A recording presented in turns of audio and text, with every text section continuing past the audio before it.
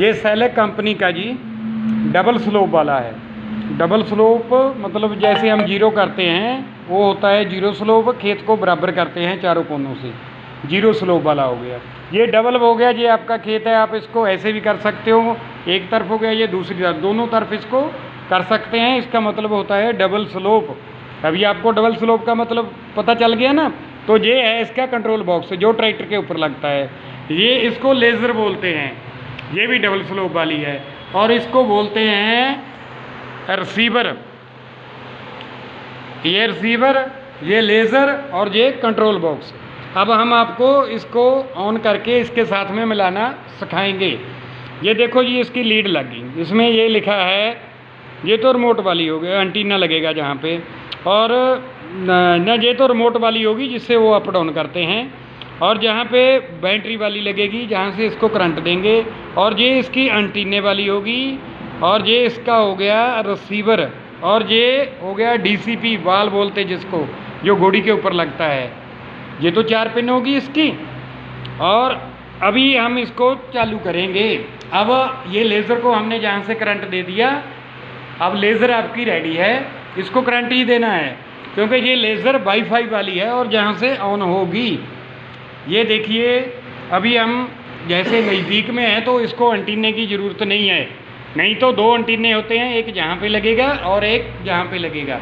जैसे खेत में काम करने के लिए थोड़ा दूर होते हैं ना, पास में इसको अंटीने की ज़रूरत नहीं है। अभी देखिए जी, ये जहाँ से ये ऑन हो गया आपका सेट। अब यहाँ पे ये दिखा रहा है लेज़र ऑफ़। इसकी जो लेज़र है, वो यहीं से ऑन होगी। ये लेज़र वाला है बटन हमने इसको दबा के छोड़ देना है। ये देखिए, यहाँ आ गया लेज़र ऑन वो देखिए, अभी आपकी लेज़र ऑन हो गई। वो देखिए जी लेज़र चल पड़ी ना?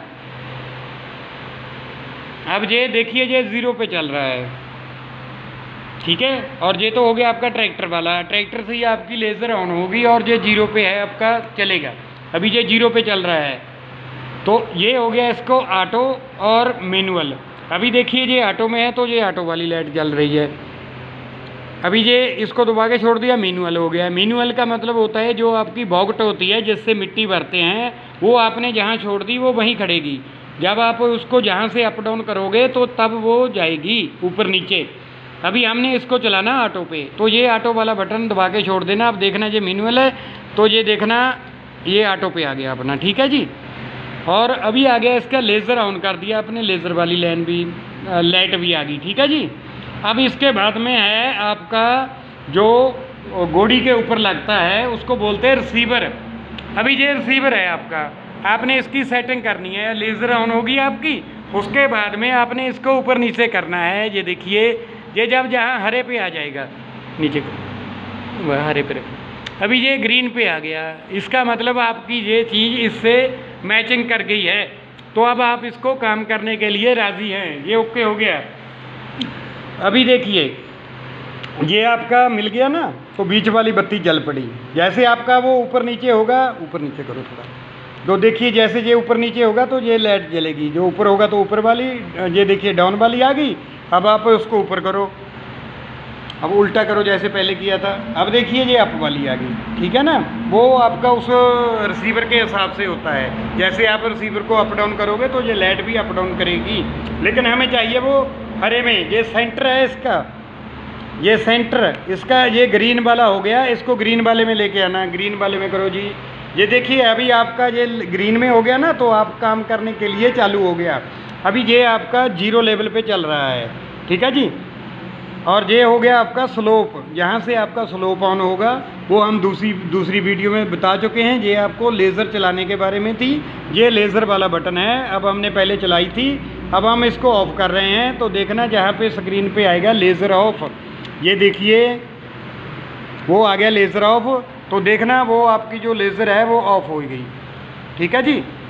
अब दोबारा फिर देखो, लेज़र को जहाँ से ये ऑन करता है, ये वाईफाई वाला सेट है। ये देखिए ये ऑन हो गया लेज़र अब उधर देखो लेज़र ऑन हो गया। चल पड़ा जी। ये होगी आपकी इसकी मैचिंग के बारे में और स्लोप के बारे में हमारी दूसरी वीडियो है। अब है इसका ये जो टाइम आता है। जहाँ पे आपने अभी देखो सतारह मिनट हो गए इसको चलते हुए। आपने अब आप दूसरे खेत में जाओगे, इसको मान के चलो ज़ीरो पे करना है। तो ये इसके बटन है रीसेंड वाला। तो आपने इसको दबा के रखना है। ये देखिए, अब डन हो गया ओके सेलेक्ट आ गया ओके ये ज़ीरो ज़ीरो हो गया आपका। अब आप दूसरे के खेत में चलोगे तो ये फिर ज़ीरो से शुरू हो जाएगा। ये आपका टाइम वाला हो गया। ठीक है जी? ओके जी थैंक यू